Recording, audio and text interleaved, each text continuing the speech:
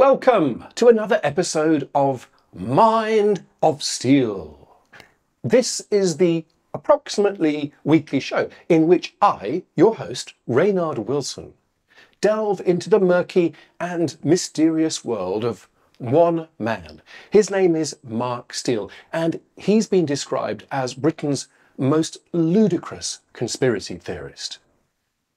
And uh, if you don't know him, well, just watch this channel because we do loads of stuff about Mark Steele because he's hilarious. He's, he's one of the, the least self-aware conspiracy theorists you'll ever meet anywhere.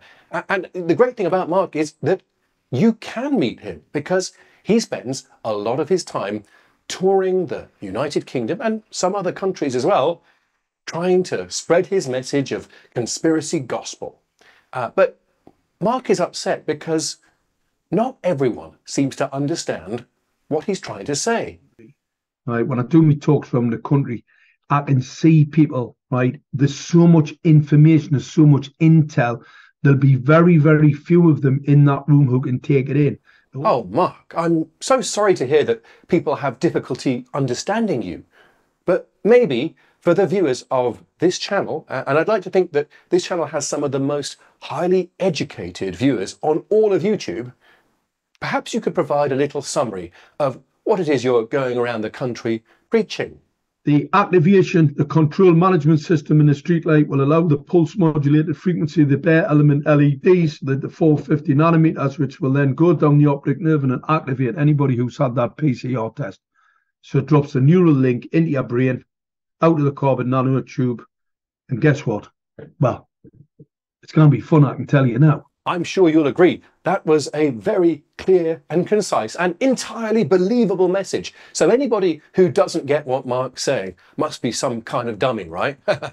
uh, but Mark, what's the impact of your message? It's going to be fun. It, what's going to happen is going to be, well, not, I wouldn't say it biblical, but it's going to be something you've probably seen on the telly. It's going to be somewhere between what we see on the telly and something biblical.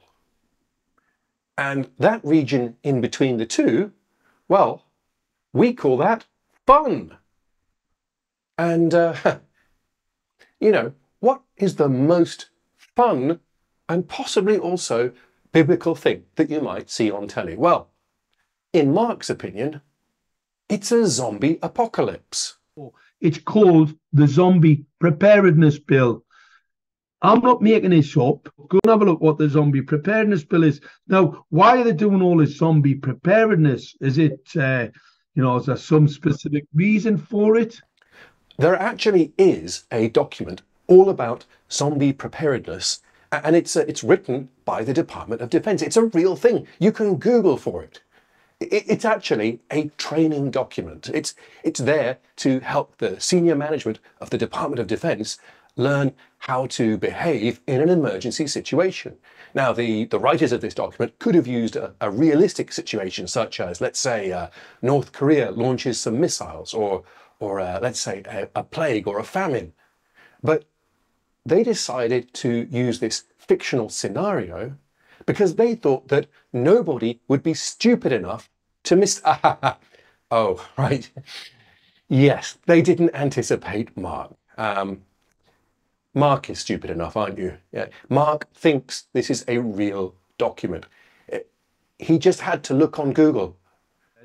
It is a fabricated lie. It's like that global warming. I mean, I've seen this stuff down in Hawaii. You can see they're using directional weapons. You can see the burning of the trees from the inside out you can see it all. You know, I mean, I've seen a cracking picture the other day. There's actually a circle, an exact circle in a field where the, it's burning in a circle. That has to be electromagnetic radiation emissions. Let me explain how Mark Steele operates. He looks on the news and, and finds the tragedy or disaster of the day, and then thinks of a reason to associate that with whatever he's paranoid about. So right now, as I'm recording this, in the news, there's, uh, there's wildfires in Maui. Uh, a normally wet tropical island has been gripped by drought and the whole place is a tinderbox. And tragically, huge swathes of land and a number of cities have just burnt down. It's an, it's an absolutely appalling story, but not too appalling for Mark to try and take advantage of it. He wants you to think that the wildfires on Maui were caused by some kind of directional energy weapon. And he posted this video of some kind of partially burnt city on the island as proof of something. I, I, don't know what, but uh, isn't it rather ghoulish the way Mark works? He, he'll take advantage of anybody's suffering if he thinks it can prove his pathetic little point. Like the images in uh, Korea that we had where the cable drums were actually burning from the inside out. Mark never shared this video of a cable drum burning from the inside out, but anybody who works with electrical cable knows that that's not such an unusual thing. If you put too much current through a drum of cable, well, the, the bit that gets hottest is the innermost bit. So, yeah, your thing will burn from the inside out. And it might even create a short circuit somewhere in the inside because of overheating and melting the insulation. A lot of Mark's complaints are, really based on his misunderstanding of the way technical stuff works. Because unlike how Mark claims to be, he, he claims to be an inventor and a technologist and a weapon specialist. But the reality is, he's never had any technical education. He's never worked in a technical role and he doesn't have a clue. And it's due to the dielectric properties inside that cable, because dielectric properties are it's where the, you capture the energy within a field. Because Mark's never studied these subjects, you often find him using words in, in quite unusual ways. Take, for example, the word dielectric. It, it's something he says quite a lot, and, and I'm fairly sure he has no idea what it means. In this context, he seems to be suggesting that the dielectric properties of a material might allow him to target some kind of radiation. And if you knew those properties, you could target it in a clever way that, that might cause some kind of resonance and, and amplification might occur. But that's not what the word dielectric means. Roughly speaking, the dielectric constant of an insulator is how polarizable it is. And you care about that if you're trying to manufacture capacitors and you know, certain electronic instruments or components that rely on polarizing an insulator. But for the rest of us, it doesn't really matter so much. Uh, it's, it's not really a thing. Uh, it certainly isn't something that is relevant to the business of broadcasting radio signals or, or telecommunications it's just another weird thing that, that Mark's picked up. And, and he repeats because he's used to operating in a world where nobody challenges him. If you want to do a quick experiment, don't do it by the way. Put a grape, half a grape, go and check on the internet. You can see, just call it, it's the grape microwave radiation experiment. Ionization and plasma created within the orbital of the internal part of the grape. This is actually perfectly safe despite what Mark has just said. All you do is you take two grapes, put them touching each other inside a microwave oven, and then switch the microwave oven on. And after a few seconds, you see some sparks, a little bit of plasma where the two grapes are touching each other. What could it mean? It's an interesting experiment, and that's how you know that microwave radiation can cause ionization. No, that's how we know that Mark is confused about basic concepts in science because the microwave radiation is not causing any kind of ionization to the grape. All that's happening is that the grapes together are acting as a weirdly specific sort of antenna for the, the microwave radiation. And, and you're getting a spark between the two grapes. And sparks, yes, they're a kind of plasma, and plasmas can ionize things, but the microwave radiation does not ionize anything.